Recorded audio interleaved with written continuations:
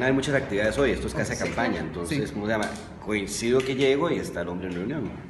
Ah, ok, De pero hecho, cuando vine ya estaba ahí adentro. ahora, ¿qué conversaciones ha tenido usted con Fabricio Alvarado de cara a esta campaña en segunda ronda para ver si usted va a trabajar como asesor cercano, si No, usted va a dar una- conversaciones un como tengo con cualquier otro candidato. Ayer conversé con Otto, ayer conversé con Antonio, con Don Oscar Arias, o sea que me manejo en el circuito, entonces converso con todos. Claramente, pero no lo vemos tampoco en actividades de- del otro candidato y si lo vemos en una don Fabricio, ¿usted va a asesorarlo? No, no, no, porque con el otro, con el otro lado, pues no tengo ningún tipo de relación después de algunos rompimientos que tuvimos. Con Carlos me llevo muy bien. De hecho, el día de, la- de que ganó, bueno, que quedó en segundo, lo llamé para felicitarlo y todo.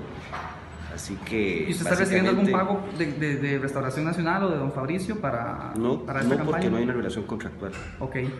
¿Y esto- descarta usted trabajar para don Fabricio o me podría decir más bien qué es lo que está haciendo acá? Tal vez especificar un Nunca descarto nada, porque yo soy un profesional. Es como que un entrenador de fútbol diga, lo llamas a prisa y ganó, nunca lo voy a entrenar. Eso, Claro, eso- pero negaría, no. ¿negaría usted entonces que usted va a trabajar para la campaña de don Fabricio Parado o que está le- trabajando en este Como le momento? respondí a Álvaro Murillo ayer, colega suyo, este, eh, conversamos, como conversa cualquier persona